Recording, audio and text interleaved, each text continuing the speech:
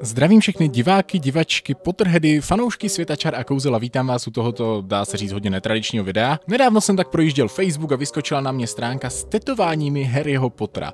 A řekl jsem si, že bychom se na ně mohli společně podívat. Je jich tady opravdu hodně a jsou rozděleny do různých kategorií a tak nějak se budu já na ně dívat. Já jsem člověk, který tetování žádné na sobě nemá, ale nejsem jako vůbec proti tomu. Sám jsem už několikrát přemýšlel, co bych si třeba někam nechal vytetovat. Ale tetování je samozřejmě nevratná věc, kterou prostě musím mít dobře rozmyšlenou a ještě nikdy jsem nedospěl do toho momentu, kdy bych si řekl, jo, tohle stoprocentně chci. Uvažoval jsem třeba o znaku relikví smrti, ale kam ho dát, jaké velikosti, jak přesně. Hm. Tak třeba se dneska inspiruju, ale hlavně se společně podíváme na to, jak originální byli někteří lidi a můžeme hodnotit, jestli se nám to líbí, nelíbí. A vy mi rozhodně do komentářů napište, které tetování z videa se vám nejvíc líbilo. První kategorie jsou script Harry Potter tattoos, to znamená, že jsou to nějaké citáty nebo něco takového, dá se říct. Vidíme, že tady máme jako happiness can be found even in the darkest of times if only remembers to turn on the light. Známý citát z Harryho Pottera, ale musím říct, že tohle tetování není úplně můj šálek čaje teda.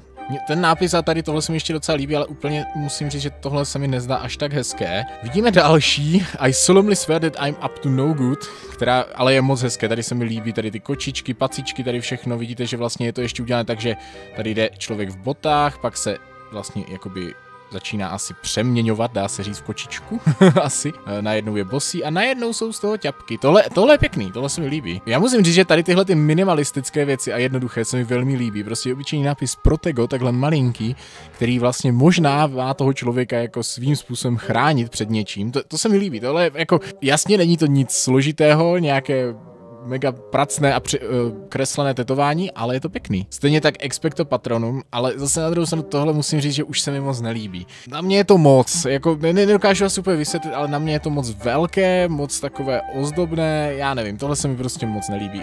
Věřím, že to má na sobě vytetovaná dáma, ale nevím.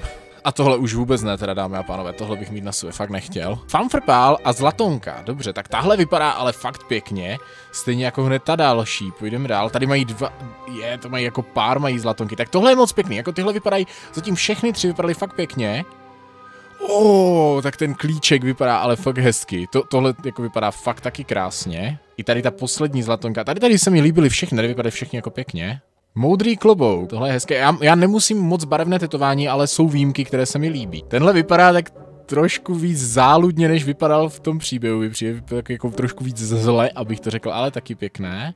Tady to barevné vlastně nevypadá úplně špatně, vidíme, že ten člověk má ještě tady nějaká další navazující tetování, ty knihy pod tím. Jako je to hezké, ale já prostě nejsem úplně zastánce těch barevných tetování ve spoustě případů a tohle nevypadá to špatně, ale asi nic pro mě úplně. Bradavice a koleje, dobře, tak tohle je čisté logo Bradavic, které mám na sobě i já, teď, které bude asi trošku vyklíčované, ale, ale mám ho i já. Tady vidíme hnedka pod tím Nebelvír, který s trošku jiným lvíčkem, ale jako nevypadá to špatně, ale je to třeba věc, kterou bych si taky nikdy jako na sebe vyloženě nedal. Byť jako možná třeba bych si našel kolej, kterou bych jako se kterou nejvíc cítím. Ale, a tohle mě připadá jako omalovánka, jako sorry, ale tohle, jako je to, je to strašně hezky vymyšlené tetování, jo, je to taková ta, já nevím, jak se tomu říká, taková ta sněhová koule, kterou zatřepete, to, nebo možná, možná tady spíš jakože věždba by se dalo říct. Tady znak relikví smrti, jako to hezké, ozdobné, ale ty jo, já nevím. Uh, ale tohle je crazy. Tohle je crazy hodně a tohle vlastně ani nejsou, jako to, to asi ani nejsou, no jsou to bradavice, chtěl jsem říct nejsou, ale tady ta věž mě teda dost uh, přesvědčila o tom, že jsou, ale jako tohle vypadá, to vypadá crazy, já si jako neumím se rozhodnout, jestli mi to jako úplně vyloženě líbí nebo ne, ale je to jako je to strašně hezký nápad, ještě jak jsou do toho zakombinované ty znaky relikví. Nevím no, tohle bych si asi na nožičku nedal teda. Fantastická zvířata Harry Potter tatování, tak tohle vypadá jako hodně, hodně dětsky teda, ta, ta, ta kresba, jako pěkná. O, ale tohle je topové, tohle, tohle jako, myslím, že ten skřítek by mohl být povedenější, ale tohle je jako vtipný, tohle se mi líbí, tohle je fakt fajn. ten hrabák vypadá taky pěkně, tady testrál, to, tohle je docela jako hezky udělané, jako v rámci to, jak je to udělané, ten rámeček, všechno. To je pěkný. Tohle je, jak, jako toto je rostovile, to je cute. Wow, wow, wow, wow, kámo, tak tohle je velký, tohle je hodně velký tetování. Je tu Hedvika, Zlatonka, relikvie smrti, je tam ten barevný podkres i ten podtón a tohle se mi vlastně docela líbí na té dámě. Tady taky rostomilá sovička. Uh, ale tady toto už není tak rostomilé, tady někdo má moskomora vytetovaného a ten vypadá jako docela drsně.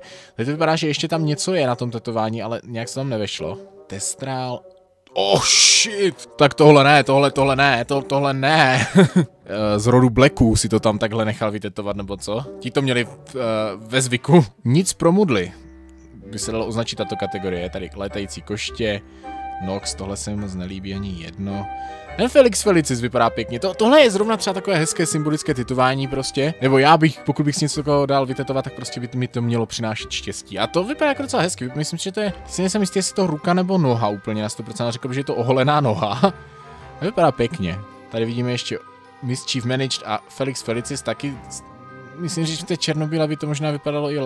Tady to světlo u té hulky OK, ale ta, ta žlutá na tom to mi úplně nesedí. Tady zrcadlo ze Risedu, OK, zajímavý. Obracet času, ale tak ten vypadá brutálně, tohle se mi moc líbí, tohle vypadá jako dobře. Já mám i rád, když je to jako tetování inspirované něčím, ale nejde úplně na první pohled to poznat, pokud tu sérii fakt dobře neznáte. To, to mám rád, to, tohle bych řekl, že je i ten případ, že tohle nemusí úplně každému dojít, i když třeba ten film viděl, že je to obracet času, to je pěkný. A tady ty barevné, já nevím, tady si nemůžu pomoct moc, tady ani jedno, ani druhé úplně není mušále kávy. Realistické. Tak tady máme Albuse Brumbála, tak to se mi moc nelíbí. Severus Snape. Proč proboha Severus Snape a Bellatrix? To mi vůbec nedává smysl tahle ta dvojice jako na jednom obrázku společně. Jo, vypadá to hezky, ale nevím, proč zrovna tihle dva na jedné jako fotce. Tady ten Albuzal vypadá už drsněji a tady to vypadá fakt jako pěkně, to je fakt umělecké dílo. Tady mi přijde Snape trošku do transgenderu teda. Já nevím, tyto, tyto obrázky prostě toto není nic pro mě. Byť jsem teda viděl třeba, že má vlastně Borec, kterým jsme natáčeli, má úplně jako, to, to bylo topové tetování Daniela Radcliffa ale jako Harryho Pottera, ale tady tyhle se mi teda moc nelíbily. Deathly Hallows, tak to je něco pro mě. To, toto je přesně ta kategorie, která se mi líbí. Něco takového minimalistického bych si uměl představit i na sobě, ale asi se k tomu nikdy neodhodlám. Tohle vypadá zajímavě. Taky zase ten případ, že to ne úplně každému, kdo zná Harryho Pottera, musí dojít. Tady to tak, oh, tak tohle je pěkný. Tohle je přesně jednoduchý styl, úplně přesně tam je to, co je v tom příběhu, je to tam krásně zakomponovat. Jako tohle je fakt pěkný. Tohle osobně Tohle by byl pro mě zatím winner. To mně přijde už trošku moc překombinované, popravdě. Tohle je jednoduchý, maličký, pěkný. Trošku mi to přijde tady ta půlka tady disproporční, ale možná mi to přijde jenom tím, jak je to vyfocené. Tohle mi spíš připovídá něco z majského kalendáře. Tohle je actually zajímavý. Tohle je vlastně celá ruka, kde je teda znak relikví smrti, nad tím ještě obracet času, tady ta jako věždba, nebo to, to, to, co bylo z těch čajových lístků, svíčky, jako tohle je vlastně, je, to, je tam toho hodně, ale tohle vypadá fakt zajímavě. Tohle to se mi docela líbí. Ta, tady tohle ještě mi přijde docela cool, jak je tam jenom nějaký jednoduchý jeden barevný prvek. Tohle na mě je taky trošku moc. Ale takové nevím, nevím, nevím. Tohle je Fénix, Zlatonka a pod tím Relikvie smrti. Tohle vypadá docela zajímavě, na to, že to je barevné tetování, které nemám úplně v oblibě. Tohle je pěkný, tohle musím říct, že tohle se mi líbí. Toto je takové cute taky, ale to, to nevím, jestli bych se dal na sebe jako dobré emoji někam, nebo nějaký obrázek, ale tyvo, na tělo bych si nevytetoval, tyvo, takovouhle učebnici. Tady dokonce má někdo tetování máslového ležáku, tak to je teda už to už, to už je teda hodně na mě moc. Mandragory, ty jo. Pohár tří kouzelníků, tady jsou jako tady je fakt všechno, to je šílený, to, to by mě vůbec nenapadlo. Fénix. Tohle je docela zajímavý nápad, jak jsou tam ty paroží, ty jelení, to je pěkný. To, tohle vypadá nahoru docela dobře. Tady ten testral teda veliký, ale to jako nevím. Ty jo, ta Umbridgeová tohle vypadá crazy. To, to vidím, že tam ten člověk nebo asi to taky dáma, má asi celou ruku. To vypadá jako, to vypadá zajímavě. Tady tahle ta část až po toho Hagrida vypadá jako dobře, ale ten se mi tam moc nelíbí. Minerva McGonagallová, tyjo, tak tohle, pěk, tohle, tohle je zajímavé, ale jsou to takové jako, já nevím, mě přijde jako už docela jako zajímavé tam mít někoho jako Hermionu prostě vytetovat na tělo. Jak vám se líbily tady ukázaná tetování? Máte nějaké Harry Potter tetování? Pokud jo, tak mi to určitě můžete napsat. Případně můžete i na Instagram poslat fotečku, jako já se rád podívám na, na vaše tetování. Pokud to teda máte na nějakém místě, které chcete odhalit, že jo. Pro dnešní takovéto jednoduché video už to bude všechno. Příště se samozřejmě podíváme zase na nějaký ten lore nebo na nějaké tradičnější video v rámci Potrovy hodinky a podobně. Ale myslel jsem si, že na odlehčení něco takového sem dát nebude marné, tak doufám, že se vám to líbilo. Pokud jo, tak rozhodně nezapomeňte na like, případně odběr kanálu a uvidíme se někdy příště. Zatím se mějte a ahoj.